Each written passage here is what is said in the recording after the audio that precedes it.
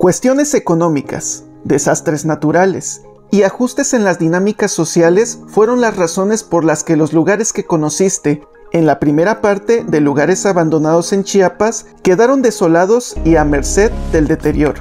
Tras casi dos años de haber realizado el primer video, resulta que el vasto territorio de Chiapas sigue sorprendiendo con la gran cantidad de lugares que hoy se encuentran en el abandono. Y por ello esta vez te comparto 5 lugares abandonados en el estado de Chiapas, parte 2.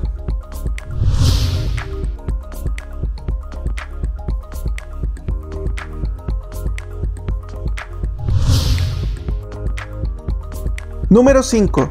Terminal del Aeropuerto Corazón de María.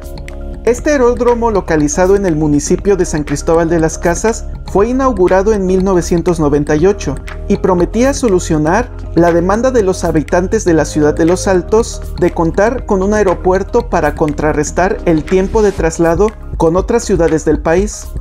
El aeropuerto contaba con una capacidad para atender cerca de 100.000 pasajeros anuales y una pista de 2.6 kilómetros con condiciones para recibir aviones modelo Boeing 737. Pero debido a su localización rodeada por relieves muy complejos y sus condiciones climáticas, le impidió contar con servicios en aeronaves de ese tamaño, limitándose a la operación de aviones de menor capacidad entre 1998 y 2002.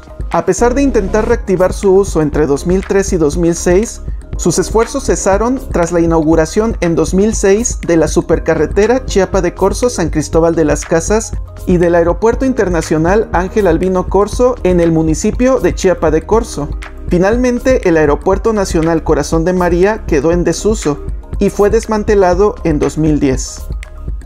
Hoy de este aeropuerto solo quedan los restos de la terminal aérea vandalizados y derruidos por la intemperie y el abandono. Número 4. El ayuntamiento del municipio de Belisario Domínguez. Este municipio se estableció el 23 de noviembre de 2011 con el propósito de solucionar el conflicto territorial entre Chiapas y Oaxaca, en la región de los Chimalapas, al este del estado. La cabecera municipal de Belisario Domínguez se localizaba en la localidad de Rodolfo Figueroa, donde fue edificado el ayuntamiento municipal y otros edificios de servicios municipales. La razón de su estado actual es que a raíz de la creación de este municipio chiapaneco en territorio del estado de Oaxaca, específicamente en territorio de los municipios de San Miguel Chimalapa y Santa María Chimalapa, habitantes de estos municipios oaxaqueños presentaron un reclamo ante la Suprema Corte de Justicia de la Nación para que se declarara la invalidez del decreto de creación del municipio de Belisario Domínguez. La situación era tan delicada que en julio de 2015, durante las elecciones de nuevas autoridades municipales de Belisario Domínguez, alrededor de 500 comuneros soques arribaron a la cabecera municipal a robar las urnas de las elecciones y a quemar el ayuntamiento. Tras estos hechos, el municipio de Belisario Domínguez quedó sin autoridad, estableciendo un consejo municipal que despachaba desde el ayuntamiento del vecino municipio de Cintalapa. Y finalmente, el 25 de noviembre de 2021, en la sentencia de la controversia constitucional 121 diagonal 2012, se formaliza la invalidez de la creación del municipio de Belisario Domínguez, quedando su palacio municipal y un centro de salud aledaño en el abandono, ya que hoy ese territorio, lo que alguna vez fue Belisario Domínguez, ahora pertenece al vecino estado de Oaxaca. Número 3. Escuintenango. Fue una localidad fundada en el siglo XVI, localizado en lo que es conocido como el Valle Cochó, perteneciente a lo que antes era la provincia de Chiapa, dentro de lo que actualmente es el municipio de Frontera Comalapa, favorecido por la creación del camino real que conectaba la provincia de Chiapa con la provincia de Guatemala y que debido a problemas tributarios, lo inhóspito de la zona donde se encontraba sentado, migraciones, plagas, epidemias, así como la explotación laboral, ocasionó que sus pobladores dejaran la que era considerada la principal de las ciudades del Valle Cochó, para trasladarse a tierras menos problemáticas como la región del Soconusco, la cual desde entonces era considerada muy fértil para el cultivo de diferentes productos y un polo de producción cacautera todo con el propósito de que los pobladores pudieran conseguir los recursos de los tributos que solicitaban las autoridades de Escuintenango.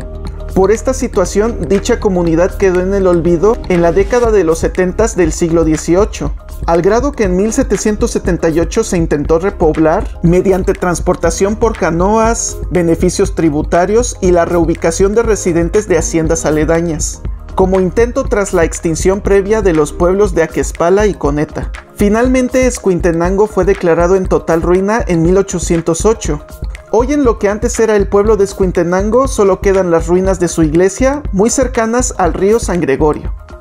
Número 2. Castillo de Zabaleta. Fue construido en 1978 en el barrio de San Diego de San Cristóbal de las Casas por Jorge Zabaleta Ramos. Debido a su peculiar forma, que desentona de las construcciones habituales de la época, fue constante centro de leyendas, entre las que destacan gritos de personas por las noches, la supuesta desaparición del cuerpo del propietario del castillo de su tumba o la presencia de un vampiro, que a pesar de la falta de pruebas, dejaron al único castillo del siglo XX edificado en San Cristóbal de las Casas en el abandono. La noticia más reciente relacionada con este edificio es su puesta en venta con un valor de 10 millones de pesos y que consta de un terreno de cerca de 2.600 metros cuadrados, 930 metros cuadrados de construcción, 14 cuartos con baño completo, 5 bodegas, 5 medios baños, cocina, salón, recepción para eventos, estacionamiento con capacidad para 20 vehículos y terraza, que le permitirían contar perfectamente con un hotel o un centro de oficinas. Sin embargo, hasta el momento no se tiene datos de algún comprador interesado por adquirir el castillo de Zabaleta. En la actualidad, este castillo es frecuentemente visitado por curiosos y exploradores urbanos. Número 1. Ciudad Rural Sustentable Santiago El Pinar. Es una localidad que se encuentra a menos de un kilómetro de la cabecera municipal de Santiago El Pinar, edificada en 2011 en un predio de cerca de 40 hectáreas y cuyo propósito era el de frenar la dispersión poblacional a fin de generar mejor desarrollo regional. De acuerdo al proyecto, la ciudad rural sustentable se conformaría de 140 viviendas de 36 metros cuadrados e infraestructura urbana conformada por escuelas, espacios religiosos, centros sociales, áreas de industria alimentaria, vigilancia, parques, corredores comerciales, entre otros. Sin embargo, la falta de apego a los conceptos culturales, usos tradicionales, la falta de muchos servicios básicos, empleo y el riesgo de deslaves provocaron que sus habitantes retornaran a sus lugares de origen, dejando la ciudad rural sustentable en el abandono y al municipio de Santiago El Pinar con un retroceso en soluciones para combatir la pobreza extrema que enfrenta el 60% de su población. Hoy la ciudad rural sustentable muestra un paisaje desolado, abundante en maleza y edificios colapsados. ¿Conoces algún otro lugar abandonado en el estado de Chiapas? ¿Conoces algún lugar abandonado en el territorio donde vives? Compártenos tus respuestas en los comentarios y si te ha gustado nuestro video, no te olvides de darle like y suscribirte para seguir conociendo más historias y curiosidades sobre el estado de Chiapas. GeoChiapas es una producción de Jules Docs.